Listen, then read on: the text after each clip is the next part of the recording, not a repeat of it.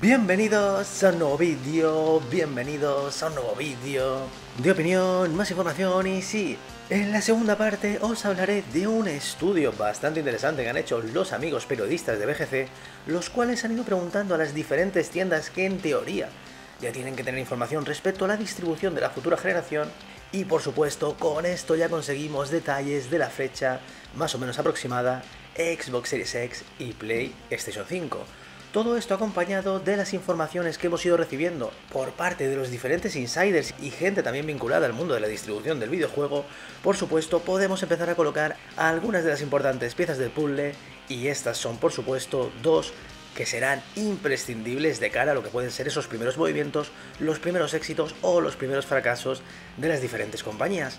Lo repasaré, como bien he dicho, en la segunda parte.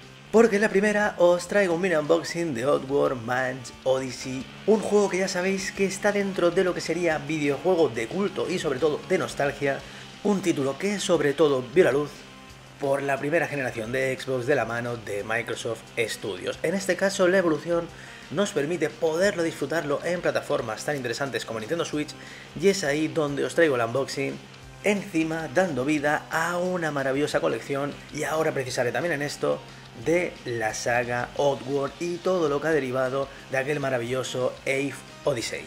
Antes de empezar con este unboxing quería agradecer a los amigos de Meridian que me hayan dado una vez más la oportunidad de poder traeros estas deliciosas ediciones al canal y con ello por supuesto mejorar el contenido del mismo.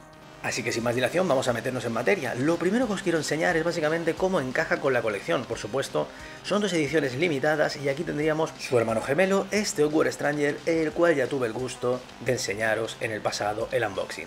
Fijaros cómo encaja sobre todo en la parte de la esquina, esto mola y es lo que le va a dar un poquito también de vidilla a la colección.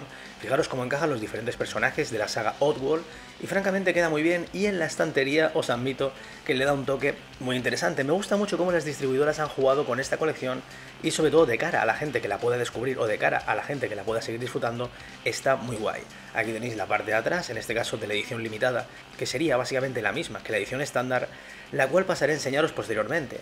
Aquí tenéis lo que sería esta especie de portada 3D, que aquí en el vídeo se ve poco, pero francamente sí que tiene el efecto, es, sabéis, un detallito que suelen venir en las ediciones limitadas, y aquí tendríamos la estándar que os hablaba, siguiendo pues digamos la diferente estructura que tienen las diferentes ediciones estándar, en este caso de Nintendo Switch, y como bien sabéis la esquina sigue siendo roja, ¿no? Para quien prefiera pues colocarla en su estantería y manteniendo, digamos, ese estándar, ¿no? El estándar de todas las carátulas de Nintendo Switch. Y por supuesto, fijaros, ¿no? La portada por la parte de atrás es idéntica, simplemente que tiene la edición limitada. Si seguimos y abrimos lo que sería el contenido del videojuego, siempre tenemos aquí pequeños regalitos. En este caso tenemos este llavero, pero luego también tenemos pegatinas que ya sabéis que las podemos utilizar, bueno, pues para donde prefiramos nosotros, ¿no? Eso ya cada uno a su gusto. Y la buena noticia es esto que veis aquí, es este DLC de los diferentes lenguajes, ya que este título cuando salió en digital no teníamos la posibilidad por lo menos de jugarlo en castellano. Y aquí podéis descargarlo y tenéis las diferentes posibilidades. Ahora continuando con todo esto, quería, sobre todo, hablar del valor añadido que significa que forme parte de esta colección, y por eso os estoy colocando imágenes del videojuego Oddworld Stranger, un título también de culto, un título también maravilloso, y el hecho de que hayan asociado todos estos videojuegos a la colección, pues me parece un paso adelante muy interesante de cara a buscar también el buen marketing, porque habrá mucha gente que con la nostalgia y el hecho de poderlas tener juntitas y con ese mimo al detalle, pues puede ser, insisto, un valor añadido muy sexy de cara a que nos hagamos con esta colección. Ahora vamos a continuar hablando de este título, los pequeños detalles del mismo. ¿Cómo te sentirías si te rompieras la pierna en una trampa scrap, te secuestraran unos científicos desalmados, te implantaran un chip en el cráneo y tu especie fuera perseguida hasta la extinción? Tu misión es ayudar a Manch a rescatar a sus compañeros cobayas. Estas criaturas serán siempre fieles a Manch y a cambio permitirán su huida. Una vez libre, Manch se suma a Eve y juntos les guiarán la sabiduría de la pasa todopoderosa se les informa cómo lograr sus objetivos, para ello deben trabajar juntos. El sueño de Manch es salvar a su especie, que está al borde de la extinción, el sueño de Eve es rescatar a sus compañeros Mudokon. Oddworld Man's Odyssey es una versión de aventuras y puzzles que encima lo podéis disfrutar, como bien os he enseñado, actualmente en Nintendo Switch.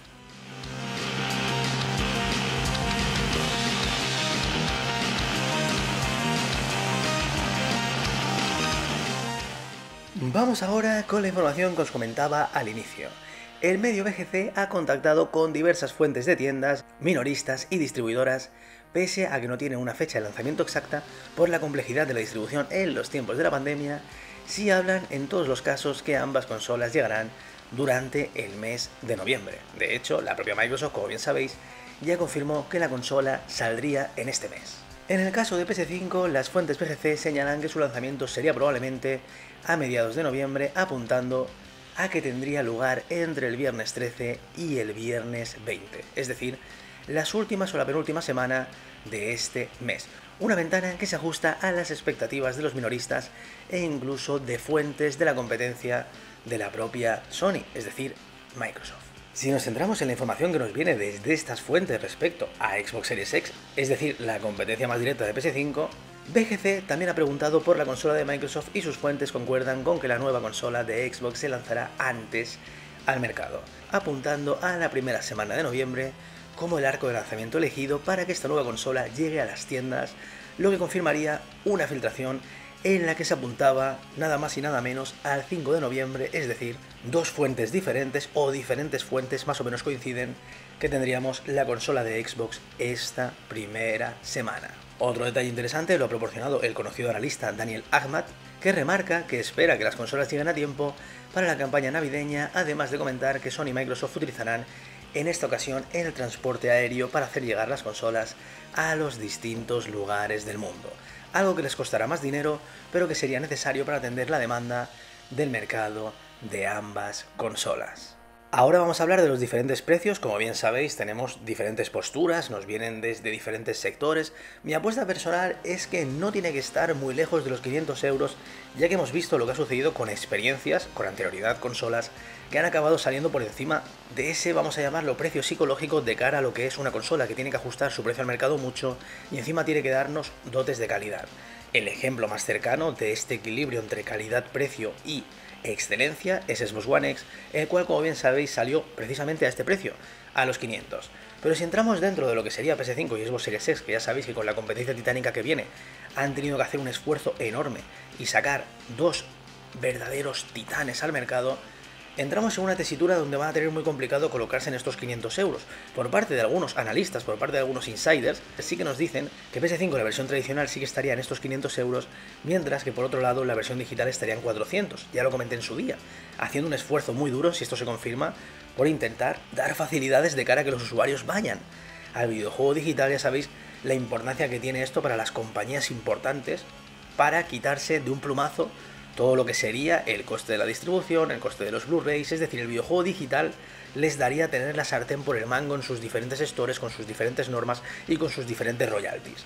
Dicho esto, por parte de la competencia, por parte de Xbox Series X, se habla de que pudiera incluso llegar a rondar los 600, algo que yo veo muy complicado, pero también es cierto que es más potente la consola de Microsoft, así que salvo que haga un esfuerzo, que yo creo que lo hará, porque necesita hacerlo, porque necesita realmente dar más argumentos que la competencia, pues la consola debería ser más cara. Veremos a ver cómo se acaba situando todo esto, pero pudiera estar finalmente 600 no lo veo, pero unos 550 o hacer un esfuerzo muy tocho, llegar a 500 e igualar la consola al precio de la competencia PS5, pues creo que podría ser interesante e inteligente. Siguiendo en esta línea y haciendo diferentes análisis de la situación, el hecho de que salga al mercado antes, si esto se confirma, vuelvo a dejarlo claro, estamos ante fuentes que creo que son un buen trabajo periodístico, son un buen trabajo de investigación en el sentido de irte a contactar con diferentes minoristas y con diferentes distribuidoras que evidentemente tienen que tener algo de información, vamos a decirlo, bastante secreta, pero que en un contacto periodístico se pueden dar diferentes detalles. Creo que podemos hablar de fuentes fiables, así que más o menos podríamos decir que los tiros pueden ir por ahí. Pero dicho esto, también es cierto que falta que se confirme. En el caso de que le diéramos total veracidad, creo que el hecho de salir antes y encima con unas dos semanas de antelación puede ser muy beneficioso, y quiero dejarlo claro. Porque mucha gente puede decir, hombre, Ken, la gente que se quiera comprar una, da igual que salga antes o salga después, si se quiere comprar PS5, evidentemente no le va a importar esperarse dos semanas. Y, y sí, te doy la razón totalmente. O os doy la razón totalmente a todas las personas que me vengáis con ese argumento. Pero también es cierto, y esto lo he vivido yo con compañeros, incluso hasta en mis propias carnes, el hecho de tener dudas y estar esperando la nueva generación y que te pongan ese caramelito dos semanas antes y digas, venga, va, la quiero tener ya, la quiero disfrutar ya. ¿Sabéis cómo funciona esto del marketing? ¿Sabéis cómo funciona todos estos de todo esto de los deseos? ¿Y sabéis cómo funciona todo esto, vamos a decirlo, del ansia, ¿no? Del ansia viva.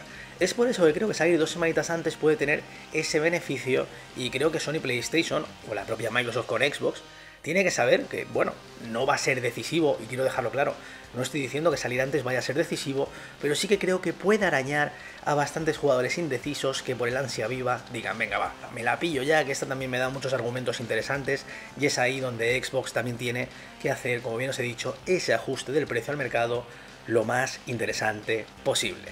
Como siempre, vuestro like y vuestra opinión importantísima en el canal. Si os ha gustado el like, si os ha gustado dislike, cualquier cosa que queréis comentar como siempre sabéis que me encanta. Y nada más, sigamos disfrutando juntos de los videojuegos. Hasta la próxima.